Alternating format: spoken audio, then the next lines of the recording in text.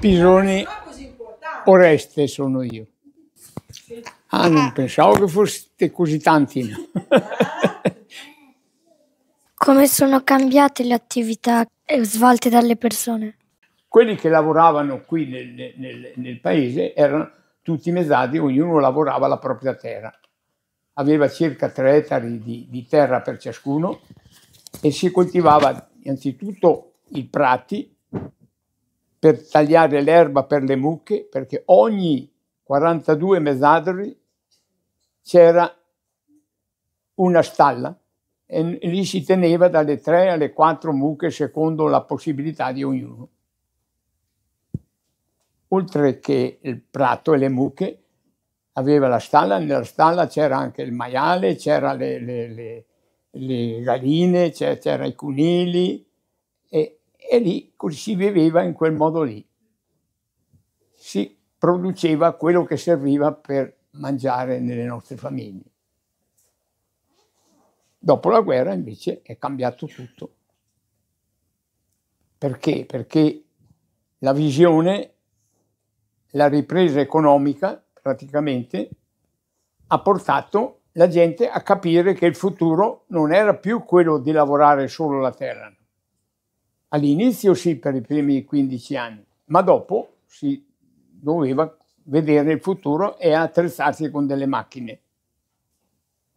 Io sono stato il primo a, a comprare una macchina che ha servito tutta la valle per nove anni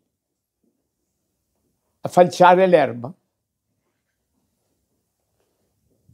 Io ero, ma poi questi nel frattempo erano passati vent'anni. Io già a 18 anni lavoravo la mia terra perché noi nella mia famiglia eravamo in nove figli, tre maschi e sei femmine. Appena che hanno potuto studiare dopo la guerra, che l'esercito in ritirata dei tedeschi era andato via, è andato in Germania, era finita la guerra, allora è venuto l'armistizio e allora abbiamo cominciato a lavorare. E praticamente io ho visto l'utilizzo di avere questa possibilità di lavorare e guadagnare anche, e più tagliavo l'erba per tutti quelli che, che volevano tagliarla, quelli che non erano capaci di lavorare a mano, perché allora macchine non ce n'erano. Allora chi tagliava a mano doveva lavorare dalla mattina alle 4 del mattino fino che arrivava alle ore calde, fino alle 10 e dopo andava a mangiare, riposare un po' e dopo tagliava ancora l'erba. Ma a tagliare quell'erba lì, che tagliavano loro, loro ci impiegavano due giorni, no, diciamo un giorno completo o due giorni, secondo la particella di erba che volevano tagliare. E io con la mia falciatrice in un'ora gliela tagliavo. Allora hanno capito che non valeva la pena lavorare a mano ha visto, allora veniva a chiedermi a me se gli tagliavo il campo. E allora loro mi pagavano e io tagliavo il campo. Ma io ho lavorato molto, molto, molto, sai, dalla mattina alle 4 del mattino fino tante volte, non sempre, ma tante volte quando c'era bisogno, anche fino alle 10 di sera, di notte anche, coi fanali, perché sulla mia falciatrice avevo già applicato dei fanali che potevo lavorare anche di notte. Questo, ma tutti gli altri invece coltivavano prima l'erba, poi il grano per fare il pane, poi la frutta, che qui c'erano le mele, c'erano tutte le, eh, le, le piante, le uva e altre, tutte le altre piante da frutto, più tutti gli altri cereali. Allora ognuno faceva questo lavoro tutti i giorni e si si aiutava gli uni con gli altri. Perché quando uno non riusciva perché era magari vecchio nella casa o perché non aveva manodopera o perché si ammalava, gli altri cercavano di aiutare loro. e lavoravano anche col permesso del parroco, lavoravano anche la domenica per farle questo piacere. Ecco, questa un po' era la vita in cui vivevamo noi. Era un giorno festivo, era un giorno del Signore. Allora noi avevamo il divieto di, di, di non lavorare, la nostra coscienza ci, ci diceva che quel giorno lì ha riposato il Signore e riposavamo anche noi. Ecco. C'erano le motoseghe? Le motoseghe, sì, c'erano perché io sono stato il primo venditore delle motoseghe qui nella nostra zona, a centinaia. La prima motosega, diciamo, io avevo già 23 anni. E venivano prima svedesi dalla Svezia, poi dall'America dopo, che io ho cominciato a vendere quelle americane, ho fatto la prima motosega leggera, allora io mi sono fatto imprenditore, mi sono scritto, ho preso degli altri operai, ho comprato i camioncini e ho cominciato a lavorare in quel senso lì. E dopo, ma c'erano, io ne vendevo centinaia, un anno ne ho venduto anche 300. Com'è cambiata la viabilità? La viabilità c'era solo il, qui Alessandria che era un bivio che venivano da Trento e qui giravano o per Riva del Garda e la Valle di Brescia oppure giravano girava per Tione, Val Rendena, Madonna di Campiglio e anche per Brescia. Allora qui c'era un bivio e la gente ci chiedeva tante volte qual è la strada che si portava perché non c'erano neanche i segnali allora sulle strade. La gente ci chiedeva qual è è la via per Brescia o la via, o la via per Riva del Garda, che era già frequentato dopo la guerra dai tedeschi. Ma le strade non erano mica asfaltate, no, erano molto strette e tutte di ghiaia. Automobili non ce n'erano, c'erano solo i cavalli, i buoi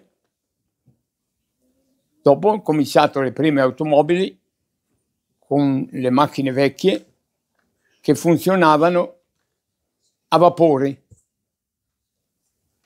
Sul, nelle automobili c'era una cisterna e un fuoco che lo, lo riempivano di carbone perché bruciava, riscaldava l'acqua e l'acqua con la forza che veniva dal, dalla pressione del caldo faceva girare una turbina e faceva girare anche le ruote della macchina. Allora si vedeva le macchine che soffiavano il vapore quando camminavano. C'erano già le bici a quell'epoca? Sì, le biciclette c'erano, ma solo che qualcuno poteva averla, solo io l'ho, l'ho comprata con la raccolta del ferro e delle ossa e degli stracci che passavano quei raccoglitori poveri che... E mi sono procurato i soldi per comprare una bicicletta vecchia. C'erano i pulmini? Ah, le corriere, sì. Ce n'erano, no, dopo la guerra, prima no, ma dopo la guerra c'era, c'era un pullman che faceva Trento e Varrendena. C'era uno che faceva Trento, Riva del Garda, mattina e sera. Che ruolo rivestiva il fiume? Eh, per noi era, era una ricchezza, diciamo, il fiume, perché veniva sempre l'acqua. Andavamo quando avevamo già 12-15 anni anche a fare il bagno dentro nel fiume d'estate. E il fiume era pulito, l'acqua era bevibile, noi bevavamo sempre l'acqua del fiume, così noi abbiamo fatto anche, prima di me ancora, fatto dei canali che venivano fuori, l'acqua dal fiume passava attraverso le case, quei 5-6 casoni che c'erano, e lì ognuno aveva la sua fontana andava a lavarsi i panni. E serviva per quello, ma dopo serviva per la pesca. Perché dopo il fiume hanno costruito una centrale, però quel fiume lì lo chiudevano d'inverno quando l'acqua serviva per fare la corrente elettrica.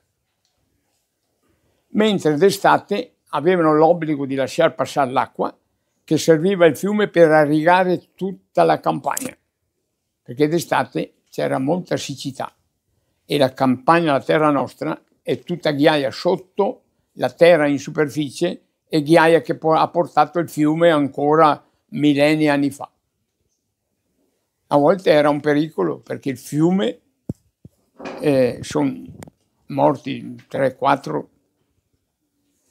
giovani che conoscevo io perché andavano nel fiume quando era in piena e portava la legna, allora si andava a prendere la legna in superficie all'acqua con un palo lungo e un'ancora, si prendeva il legno che portava il fiume, se lo tirava a, a fianco e poi se lo prendeva da, da, da bruciare.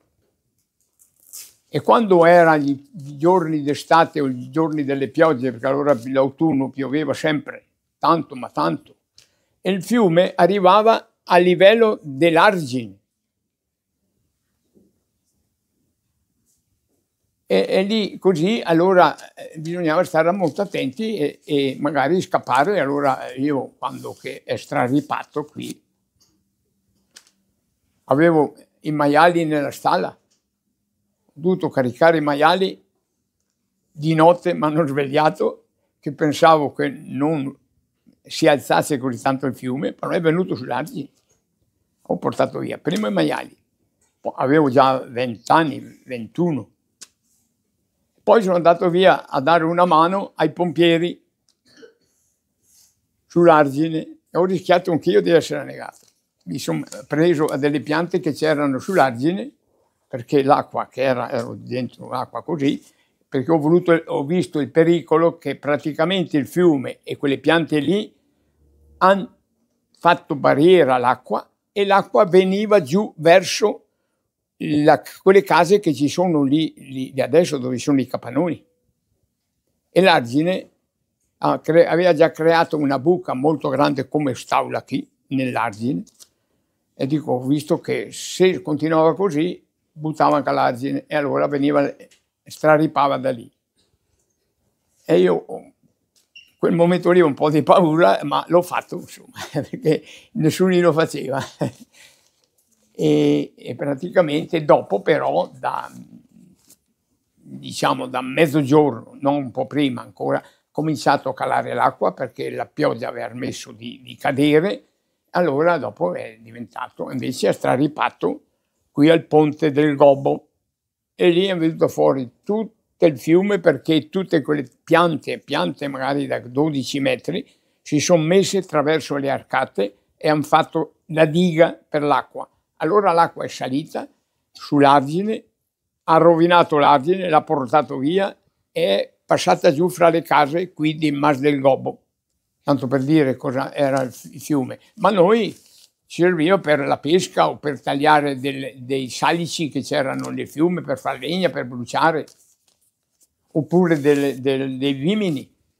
C'erano i vimini, si tagliava, io andavo e c'erano degli artigiani che venivano a chiedermeli quando avevo 7, 8, 10 anni. Facevo dei massetti, li liberavo dalla, dalla buccia e, e, e, lì facevo dei mazzetti e dopo venivano, io li vendevo, de, prendevo dei soldi. Noi era già nel, nella fase di invenzione, no? Era fase di rivoluzione, perché prima della guerra non era così, ma dopo la guerra è diventato così. I vimini servivano puliti dalla corteccia, servivano per fare i cestini o per fare quei lavoretti di, di di bellezza che ci sono dove mettono la frutta o i regali o quelle cose così. E gli altri invece servivano per fare delle ceste o dei raccoglitori dove si mettevano le patate, si mettevano le, le, le zucche, la frutta e, venivano intrecciati, che c'erano degli artigiani che li facevano, li intrecciavano qui e venivano arteggiati per noi, chi li, li, li chiedeva, li, li, preparavano, così avevamo dei contenitori per, per la raccolta. Sì, bisognerebbe spiegarla lunga o far vedere le cose, allora capi, capite, capiterete meglio, ecco. Se guardate nel fiume del Ciarca, adesso lo tagliano e fanno legna o lo trinciano il legno che c'è, ma nell'interno c'erano delle isole, c'era anche più avanti che più largo il fiume, erano molti vimini. E lì eh, io mi sono son levato proprio per un miracolo che non mi sono annegato. Perché l'acqua, volevo attraversare la divisione del fiume per andare di là a tagliare i, fimi, i vimini che erano belli e andare via. Quando sono stato lì vicino, fortuna ho trovato un sasso, ho messo il piede sul sasso perché l'era alta così e era molto anche in pendenza l'acqua. E allora ho rischiato di annegare, comunque ho fatto quel lavoro lì. Volevo chiederle per curiosità, siccome proprio oggi ho visto al di là del ponte c'è una lapide con scritto, con la foto di due giovani, c'è scritto per Irono. Ah, ecco, lì era sì, abbastanza recente, recente, diciamo, sarà questione di 40 anni questo. Ah, ecco, e il ponte, il vecchio ponte era su due arcate di legno.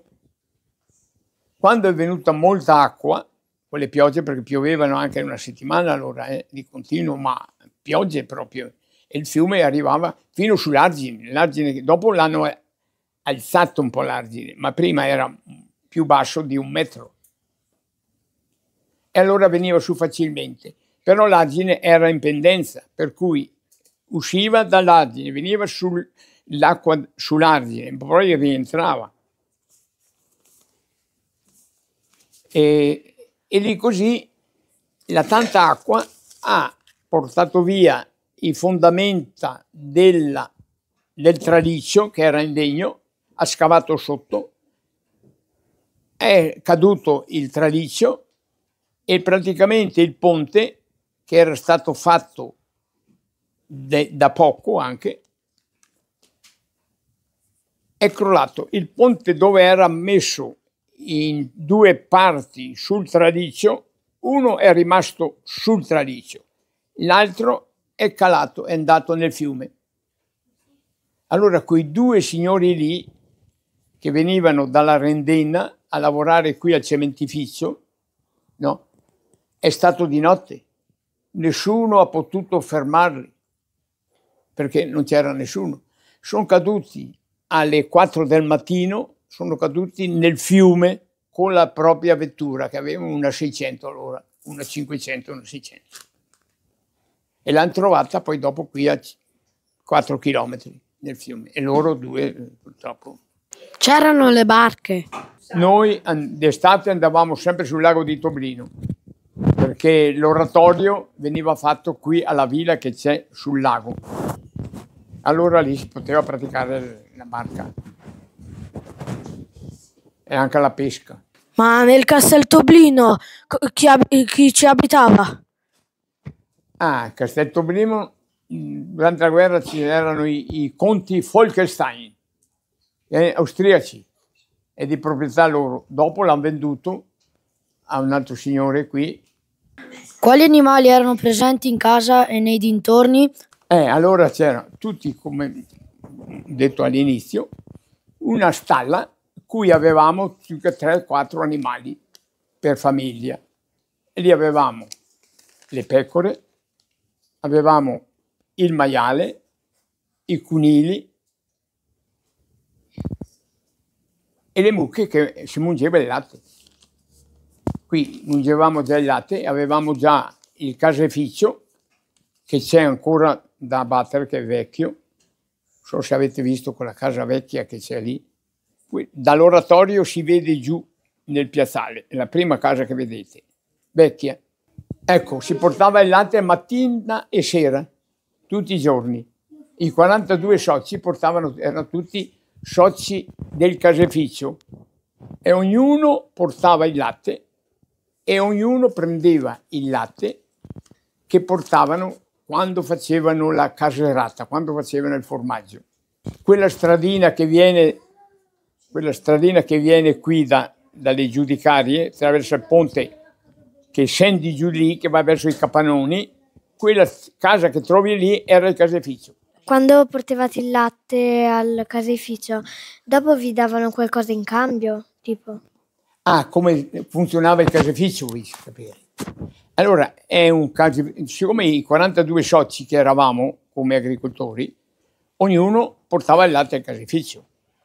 E quando arrivano quantità di latte da fare il formaggio, veniva fatto il formaggio, tanto per dire, portavano fino a un quintale di latte e ne caseravano un quintale. Allora, chi arrivava al quintale veniva a utilizzare tutto il latte di quella caserata di quel giorno lì. Tanto per dire, erano 100 litri di latte, facevano 10 kg di formaggio. Allora, quello era il proprietario di quella, quei quintali di latte lì e veniva custodito nel caseificio per conto suo. Ogni socio, ogni socio noi avevamo il formaggio nel caseificio. Che animali c'erano e quali potevano essere cacciati?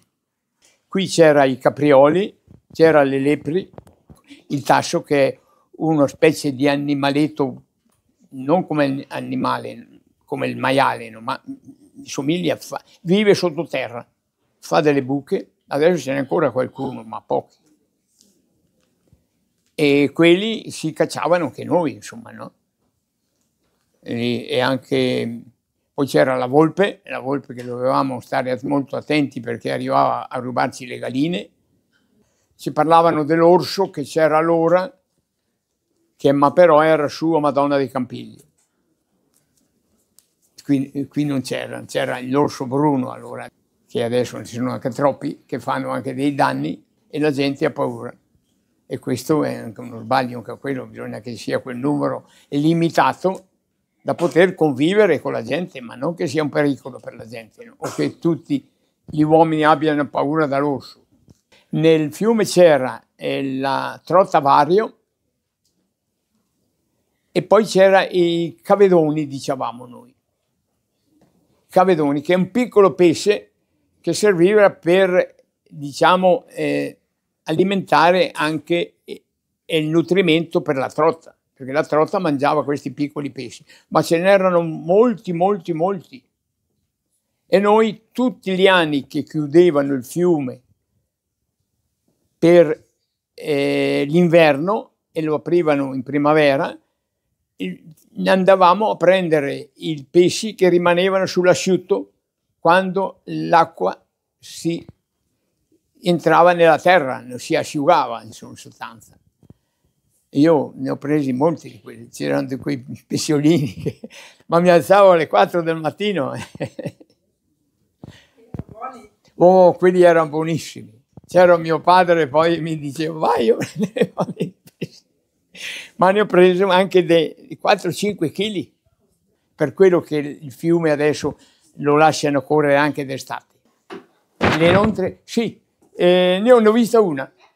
Io ne ho vista una, la lontra che c'era nel fiume. Quella mangiava le, le trotte, veniva a mangiare, si nascondeva fra i sassi nel fiume, nel letto, e aspettava che arrivasse la trotta e quella la mangiava. Eh. È grande, circa 10 kg, 12, 10-12 kg. È un, animale molto aggressivo. C'era qualche anguilla, anche le anguille noi avevamo. Nel lago di Toblino specie c'era molto, lì c'era molto pesce, e, il, il pesce persico. Volevo chiederti se ci sono ancora i pesciolini che pescavi piccoli, quelli che ci hai appena detto. No, no, non l'ho più visti, sono scompariti. Forse quelli sono, sono eliminati per l'inquinamento delle acque. Ma il fiume era più grande di adesso. Il fiume, no, gli argini sono sempre rimasti gli stessi. L'hanno alzato praticamente perché non strarippi verso la campagna, verso la valle. Quello mi ricordo io che l'hanno fatto, alzato di un metro. Ma le case erano tante o poche? Tranne che sulla salita che c'è, sulle curve, quelle lì erano, erano fatte di più, ma erano, erano un po' di case lì erano solo cinque. Una alle primo del paese, seconda al convento, che è qui dove c'è il ristorante, terza il Cason Rosso, quarto era il casone dove, dove abitavo io, che è questo qui sul ponte, e poi c'era quelle del Salvetta dove, che è di là del, del fiume. La città di Trento eh, la bombardavano perché c'era un ponte sull'Adige che la ritirata dei tedeschi passavano di qui dal lago di Garda e andavano verso la Germania e dovevano passare quel ponte per andare in Germania e tutti i giorni veniva bombardato. Alle otto e mezzo del mattino veniva bombardato sul ponte dei Vodi. Erano sette quegli aerei che bombardavano, erano per conto suo, non andavano in Germania quelli, rimanevano qui a bombardare in Italia. E due di quegli aerei, uno di quegli aerei lì non ha agganciato le due bombe ultime che aveva nell'aereo sul ponte di Vodi, ma l'ha agganciate qui a Sarche, sopra il nostro ponte di, che attraversa il Sarca. E io in quel momento che veniva la bomba ero proprio nel piazzale, era le otto e mezzo del mattino, le nove. Oh, sentivo, contavo gli aerei e dico, ma come mai ne sono passati sei e il settimo non è passato? È venuto dopo, agganciato due bombe sopra il casolare che c'è di là del ponte, che era un albergo, l'albergo Salvetta, e sono venute giù parallelamente al ponte 30 metri sopra l'albergo, sulla roccia che c'è lì. Questa è un po' la storia. Quel, quel casone dove abitavo mio era lungo 100 metri, dal, dal, vicino al Sciarca, venendo fino qui dove c'è la strada che gira giù. Diciamo, prima è distrutto dall'incendio. Io avevo boh, 25 anni, no, però di più, 30 è scoppiato un incendio, è bruciato un camino della stufa e è bruciato tutto. Io sono stato il primo a arrivare lì, che ero in chiesa, prete ha fermato la, la messa, anche dice andate che brucia il casone. C'erano ancora cinque stali con dentro le mucche. Ho, ho parate via le mucche dalla stalla, parate nel campo e, e dopo mi sono messo a, aiutare gli altri che c'erano lì, insomma. Ma è bruciato tutto. C'erano mm, poche persone anche. Io però già da allora mi avevo costruito la casa dove ci sono il negozio dei cinesi. Di... Come erano organizzati i casoni? Noi eravamo in 11 famiglie quel casone che adesso non c'è più che lì eravamo in, 5, in 105 persone, io ho contato di notte così quando mi ero sveglio, magari mi, mi veniva in mente di contare quanti erano a giocare e quanti che eravamo noi nel casone. E lì eh, c'era tutto un corridoio con tutte le cucine. Sopra c'era l'altro piano con le stanze di ognuno, ognuno aveva la sua stanza ogni famiglia aveva quelle due o tre stanze, ecco. Poi c'era un, un, granaio, una specie di granaio dove si metteva un po' il frumento, nella cantina si metteva le patate o, o le verdure, qualcosa che serviva. Il gabinetto c'è chi l'aveva non in casa, avevamo un gabinetto magari in due o tre famiglie Oppure c'è chi l'aveva nell'orto, faceva una buca, e metteva due assi, si proteggeva e aveva il gabinetto, però acqua non ce n'era. Eh, anche quello c'era un'usanza che io l'ho sempre ripudiata proprio, perché è molto schifo. Si raccoglieva tutta il liquame praticamente che arrivava dal gabinetto in una cisterna e lì si buttava in campagna per fare da concime. Si lo metteva lungo le, lungo dopo l'aratura, nei- prima di piantare il grano, i fagioli o altre colture, patate, e si allungava dentro più perché era quasi prezioso, no? Perché con quello cresceva molto bene. non c'erano, no, io quei primi bagni li ho fatti a Trento, partivo in bicicletta, andavo via a farmi il bagno a Trento, che c'era i bagni del comune a Trento, poi venivo a casa, il sabato. I gabinetti erano tipo delle ciotole? E i gabinetti? Ah, i gabinetti erano pessimi. C'era proprio il minimo indispensabile. Però dopo la guerra è cambiato tutto in pochi anni. Ah no, avevamo il vaso in, in camera. C'erano le acque dalla casa? No. Io, caro, quando ero come te, dovevo servire mia mamma a portargli l'acqua in casa. E non ero capace neanche di met- mettevo tre, due secchi prendevo, tre litri da una parte e tre litri dall'altra per salire le scale e portarle in, in- in cucina l'acqua. Ma dovevo andare a prendere la fontana. Ma prima di me non c'era neanche la fontana, no. Andavamo al fiume a prenderla. C'è l'elettricità? No, quando c'ero, io, i primi anni che avevo io non c'era neanche elettricità. Si aveva una lanterna con dentro del petrolio e si accendeva quella e si metteva quella per fare i compiti. Ma li facevamo nella stalla, capito? Perché la stalla, quando era abbastanza pulita nel senso di avere un tavolo e poter fare qualcosa, allora si metteva la lanterna e si metteva a fare i compiti nella stalla. Allora c'era da noi mia zia che mi, mi insegnava, perché era caldo. La stalla era perché in casa avevamo solo freddo d'inverno. D'estate no, andavamo in cucina che noi, ma l'acqua in casa non c'era.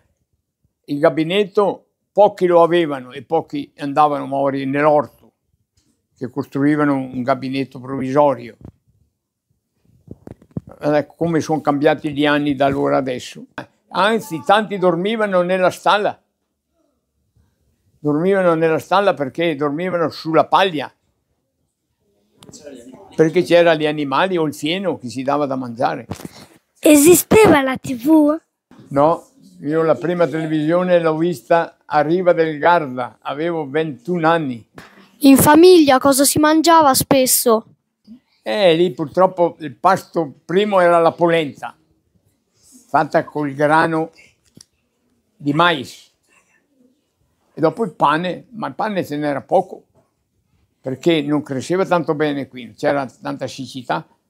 Allora io dico, quando ero ragazzo come voi, pensavo, dicevo a mia mamma, guarda quando ero grande io, dico, lo coltivo io il, il- il grano da fare il pane. E difatti sono arrivato dopo, a- quando avevo 16-17 anni, ne facevo 14-15 quintali. Ne mangiavamo, eravamo in tanti in famiglia, mangiavamo un quintale di, di farina al mese. Se no si mangiava la polenta con l'uva, eh, eh, ecco, eh, un po' di latte, polenta con uva, un pelo di zucchero quando c'era, che non c'era il zucchero. Qual era il tuo piatto preferito? Il mio pla- era il purè di patate. Oppure quando ammazzavamo il maiale, ecco, allora il maiale con la lucanica o con la pasta di, di- del maiale quando si faceva i salami e il, pat- e il pane, pane per uscire, pane e il formaggio anche. C'erano i vestiti? Sì, ma pochi. Sai che lì allora i vestiti venivano fatti nelle nostre case, dalle nostre nonne, dalle nostre mamme, facevano i calzetti con gli aghi a uncinetto. I vestiti, i sarti c'erano anche allora, le stoffe c'erano, non come oggi, ma c'erano anche allora. Io ricordo un particolare che io mi è rimasto sempre impresso, che la stoffa per fare tre vestiti per noi bambini, che eravamo tre, da un paltò di un soldato tedesco ha ricavato tre vestiti per noi, perché era talmente grande, con la fodera interna, e a me mi aveva fatto un vestito che era un po' grigio, bello. Oh, tutti mi dicevano, ma dove l'hai presa la stoffa? Ma come ha fatto a farti un vestito così bello? Mia zia, mia zia che è morta a cento anni. Come si lavavano i vestiti? Ah, i, vestiti si lavavano sempre con l'acqua, ma si faceva il, il bucatto con la cenere del fuoco. Si riscaldava l'acqua col fuoco, si buttava la cenere sui vestiti nel, nel brento e lì buttavano tutta l'acqua che passasse attraverso i vestiti e poi venivano risciacquati con la stessa acqua e venivano puliti. Come erano fatte le scarpe? Eh, le scarpe purtroppo no. Le prime erano zoccoli, con sopra un po' di, o di, di, di, di paglia oppure di, di, pelle. Gli zoccoli servivano dell'inverno, l'inverno molto per la neve, tenevano anche i piedi caldi. A Sarchi c'era molta neve, molta, diciamo, rispetto all'ambiente in cui siamo, perché diciamo, nevicava tutti gli anni e il ghiaccio c'era. E noi, tanto per dire, quando prima di andare alle funzioni in chiesa o anche quando eravamo liberi, appena che avevano asfaltato la strada, creavamo delle piste da sciare.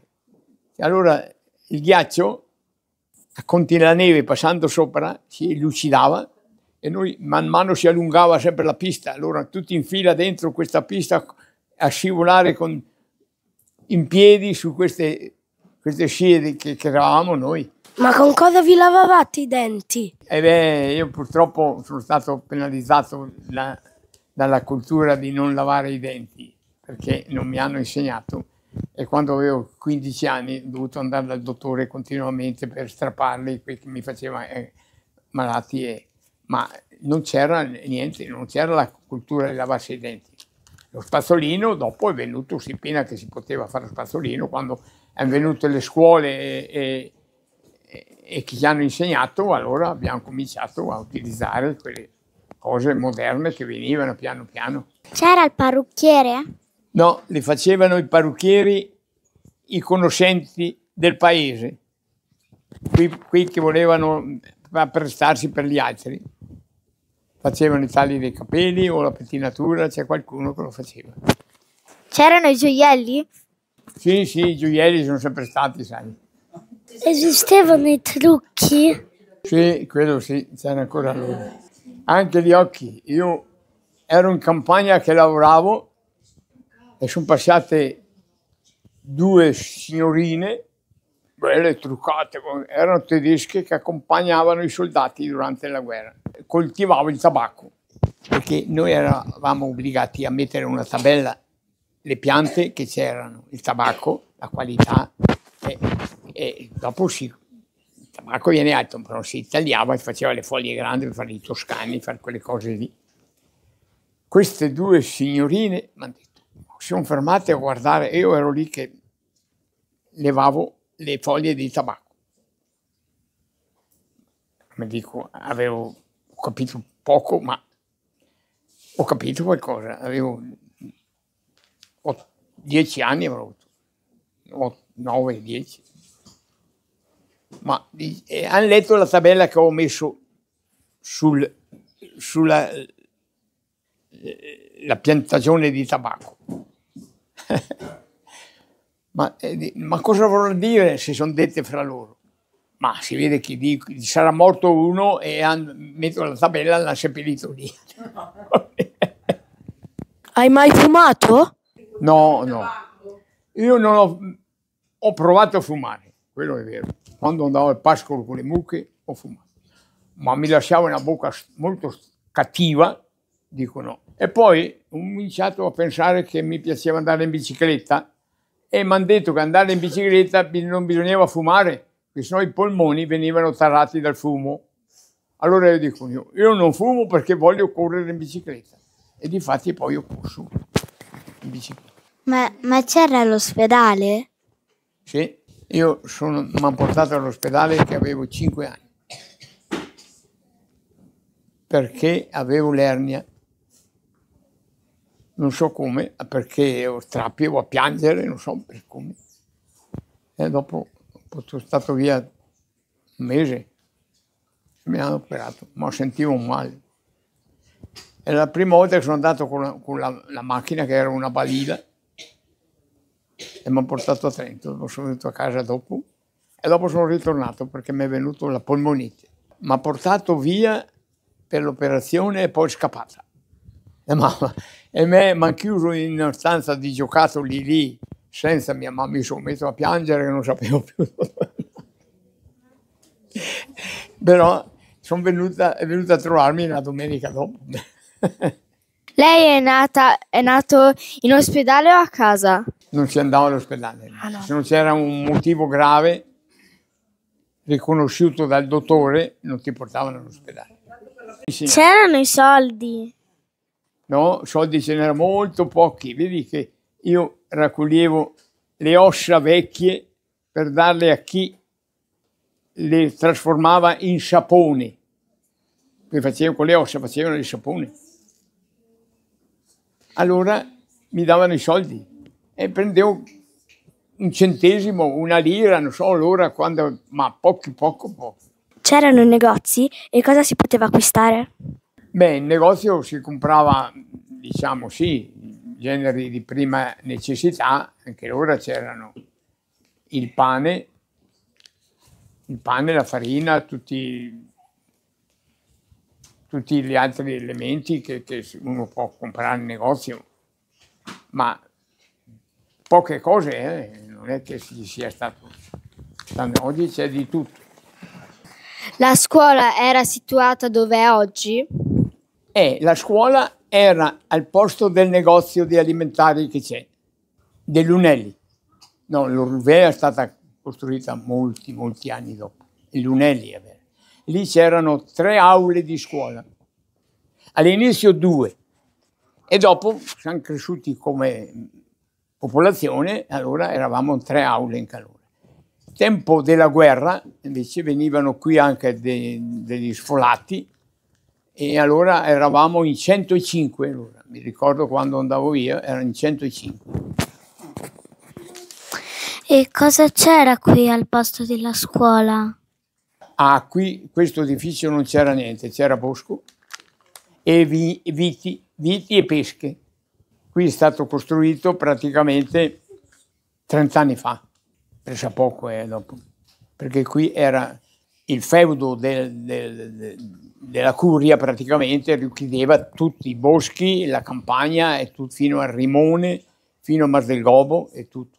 Quanti bambini frequentavano la scuola? Ecco, quando ero io, che non c'era chi altri, eravamo 60, 70. Due, due classi, ma in tutti i paesi c'era. Ma allora avevano le scuole anche con 8-10 ragazzi. Montolivetti faceva parte delle Sarche. Quando ho frequentato, frequentato io fino a, a tre, in, in terza, in quarta, poi dal quarta alla quinta si, si andava nell'altra classe, ma eravamo due insegnanti solo, dopo sono arrivati a tre con l'aumento dei, dei- dei bambini. Ma diciamo che chi era capace di tenere l'ordine della scuola non serviva né il bastone né niente. Ma chi non era capace allora usavano anche il bacchetto. non è la bacchetta magica, no. Ma diciamo faceva finta di adoperare il bastone, anche il metro che c'era da misurare nella scuola era di legno. E a volte il nostro maestro andava a prenderlo e dice guardate che se non tacete adopero questo.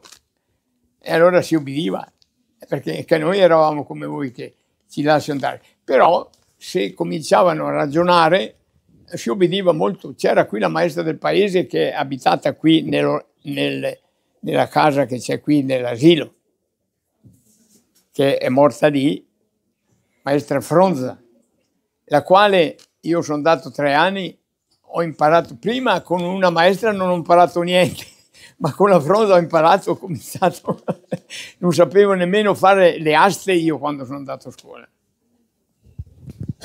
Capito? E allora, allora però con l'ordine e, e- e- e il silenzio che ci costringeva ho cominciato a imparare, ho imparato tutto, ho imparato tutto. Adesso non ho potuto andare tutti gli anni a scuola perché dovevo lavorare in campagna, perché già a 13 anni, 12 anni ero già in campagna con i buoi a arare la terra, o raccogliere le potature, o cavare l'erba da- dalle piante e dal mais per poter lasciare che, crede- che cresca il grano. E il- ma la cavavamo con, con un grembiule di sacco e con le mani, eh, giorni e giorni durante le vacanze della scuola, si puliva la campagna. Ma era bello un calore così, adesso è bello solo se potete giocare e fare quello che volete, ma non è vero, è bello anche cominciare a capire come si può fare a lavorare per il futuro, anche per voi. Se imparate, vi serve, vi serve dopo quando avete una certa età. Volevo chiedere, ma, ma tu a scuola eri bravo o birichino? Io ero un po' birichino. Io ero birichino. Però i, i primi tre mesi che sono andato non capivo niente. Niente di niente proprio. E c'era una maestra che era nervosa e mi sgridava e io non ascoltavo. Però quando è venuta la seconda maestra, sempre nella prima mia classe, dopo tre mesi, ha cominciato a ragionare diversamente. Allora ho cominciato anch'io a imparare a fare le lettere, i numeri e, e qualcosa. E dava dei premi, ma dei premi molto semplici, delle cambialine. Uno che era bravo dava uno, uno che era meno bravo dava due e l'altro ancora tre. Allora, dico, quando ho visto che questa maestra eh, premiava e sapeva e e non mi sgridava, ho cominciato anch'io a imparare bene. Allora, sono arrivato il primo della classe, ho preso più cambialine con numero uno su ogni lezione, capito? E il primo dopo, sono arrivato, il più bravo, mi ha premiato. Vedi? È così, se si vuole arrivare e mettersi l'impegno, si arriva. Però bisogna avere in mente il futuro. Ma sempre sull'argomento sulla scuola, ma c'era anche la scuola media o solo elementare? Io c'era solo elementare. Si stava fino a 14 anni e i miei genitori però, c'è chi non ha, frequentato, non ha frequentato la scuola, ma allora non c'erano, facevano solo tre anni di scuola. Ma no, quando è venuto dopo la guerra, ho cominciato a copiare da- dall'Austria perché mia zia ha frequentato le scuole, mentre gli altri non c'erano neanche le scuole. Perché non c'erano le medie? perché non c'erano né insegnanti né la mentalità di insegnare. Hanno capito dopo che bisogna istruirli i bambini perché imparino e che diventino bravi nella vita. Eh, ma cosa c'era al posto dei banchi? E c'erano banchi molto semplici, la sedile e, e la, e la tavola per scrivere, per leggere. Eravamo in due, in due per ogni banco. C'era la lavagna? La lavagna sì. E quando non si ubbidiva la maestra o che si sbagliava, ci metteva in punizione dietro la lavagna e dovevamo restare lì fino al tempo che diceva lei. Ma c'erano le materie scolastiche? Sì, non mi piaceva mica la, la- la scrittura e la lettura, quello no. La matematica mi piaceva, quello sì. C'erano le cose elettroniche? No, non c'era niente. Che c'era, c'era il calamaio con dentro l'inchiostro, poi si aveva il penino, si metteva il penino nel calamaio, si tirava su, bisogna stare molto attenti da non macchiare le, le carte quando si scriveva e si faceva eh, scritto così. Ma l'uniforme eh, si, do- si metteva uguale? No, c'era qualcuno che aveva un grembiule, sì, mettevano i grembiuli. Ma le- le- i paesi più ricchi, noi eravamo poveri, qui, e neanche con tanta cultura. C'era la scuola dell'infanzia? No, l'asilo qui alle Sciarche, in città sì, a Trento c'era, ma qui a Sciarche non c'era. In città a Trento l'han, l'han- l'han- l'han fatto per anni in anticipo, sotto la guerra, le suore, c'erano tre suore che gestivano il- l'asilo e allora andavano all'asilo. Quando è venuto giù le bombe, qui a Sciarche, perché l'aereo che era ferito dalla- dai canoni della contraerea è caduto qui a Pietramurata e qui nel paese ha gettato tutto il carico delle bombe, aveva 15 bombe sopra. Io avevo 8 anni, 7 anni.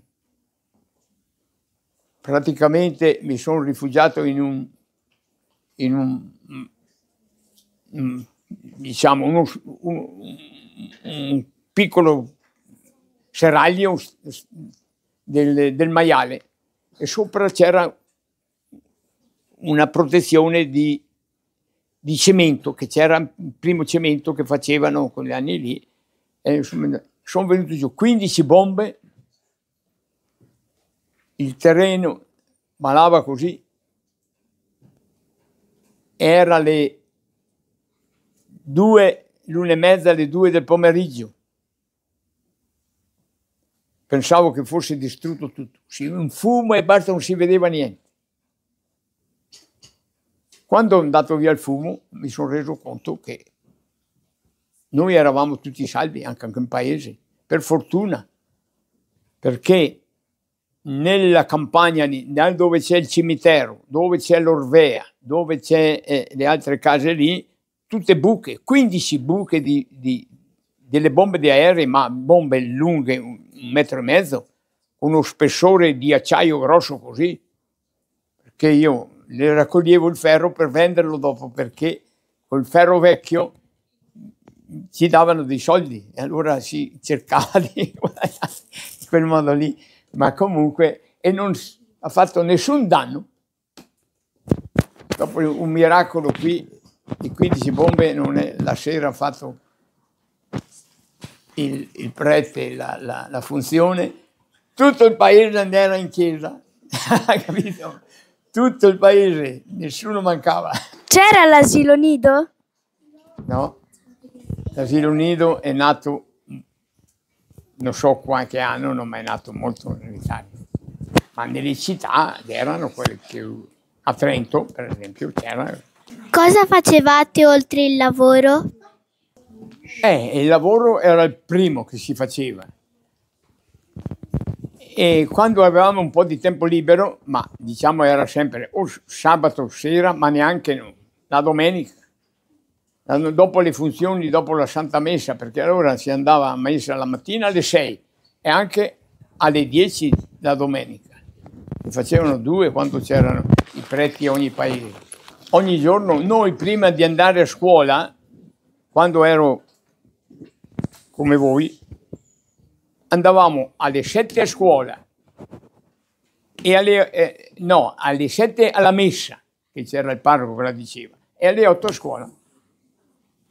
Allora si sentiva il bisogno di vivere la vita anche per, perché c'era più spiritualità di oggi. Oggi, diciamo, ognuno pensa per conto proprio, e ma allora si pensava in più in comune che, non- che per fare il bene per, per anche agli altri, insomma. ecco. Nel tempo libero si andava in vacanza con la famiglia? Beh, io sono stato un po' il fautore delle ferie proprio. Già, diciamo, quando avevo 15 anni, c'era il nostro parroco del paese che ci portava in ferie, faceva la colonia. Allora ci attrezzavamo per farlo.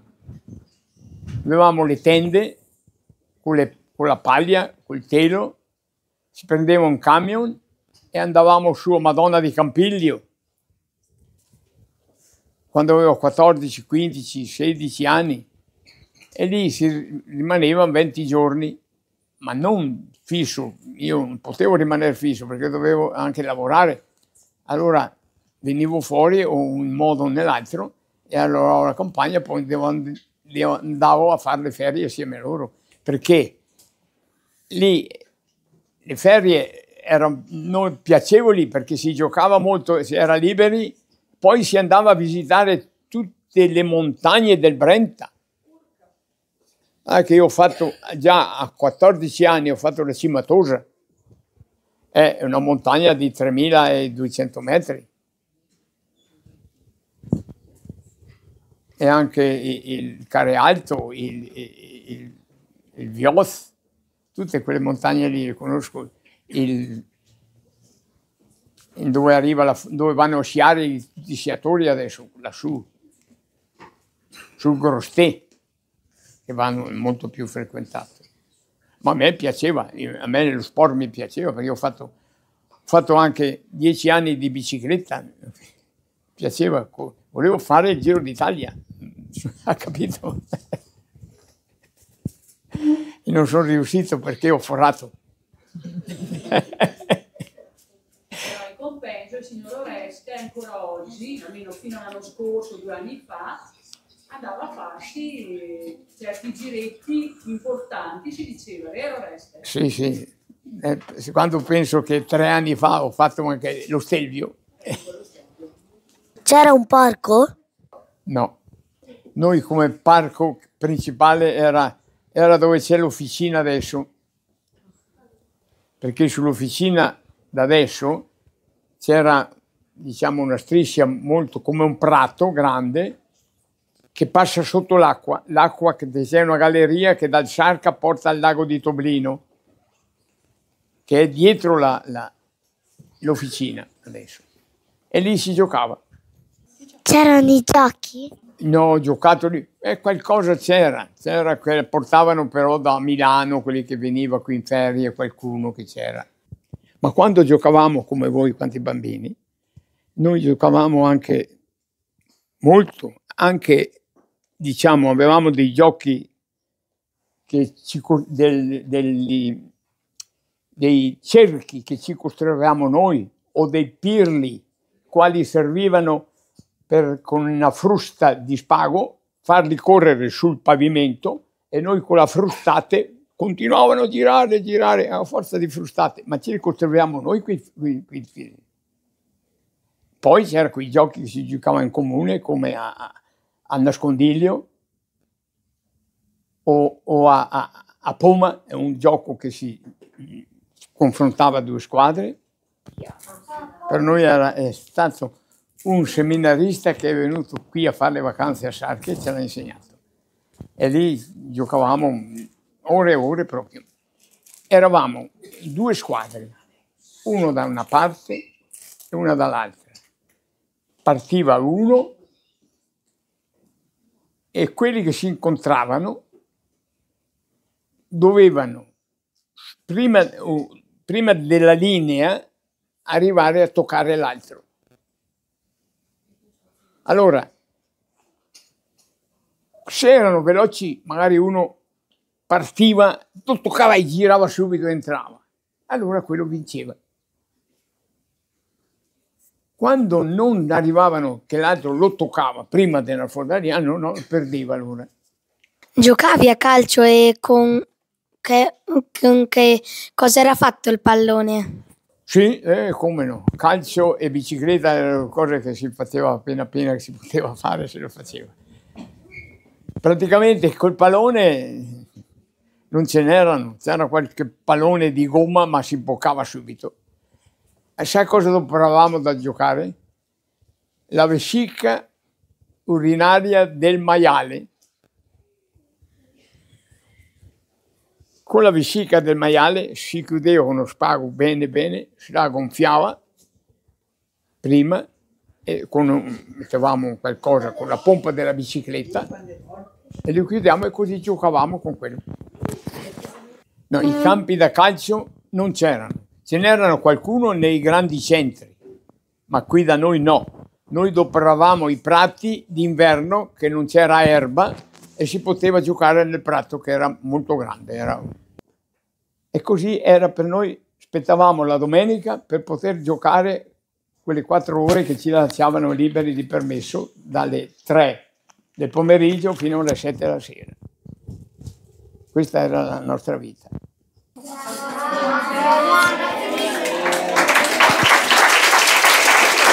No.